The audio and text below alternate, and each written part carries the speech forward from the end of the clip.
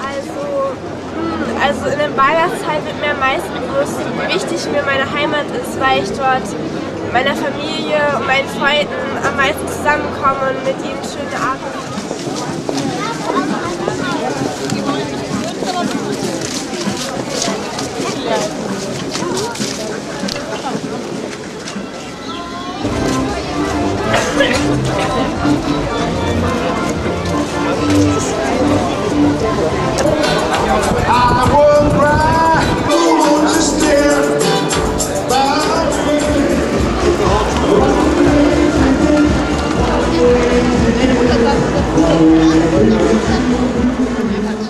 Hier bin ich aufgewachsen.